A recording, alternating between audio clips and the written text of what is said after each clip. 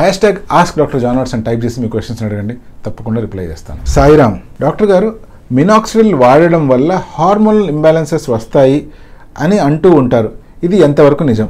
మనము మినాక్సిల్ అప్లై చేసేది మన స్కాల్ప్ మీద మాత్రమే. ఇది స్కాల్ప్ మీద అప్లై చేసినప్పుడు ఆ లోకల్ ఏరియా అంటే స్కాల్ప్ మీద మాత్రమే పనిచేస్తుంది స్కాల్ప్ మీద ఉండే ఆ లోకల్ బ్లడ్ వెజల్స్ వరకు మాత్రమే రీచ్ అవుతుంది. తప్పితే మన ఎంటైర్ బాడీలో ఉండే బ్లడ్ సిస్టంలోకి కానీ ఇది వెళ్ళదు.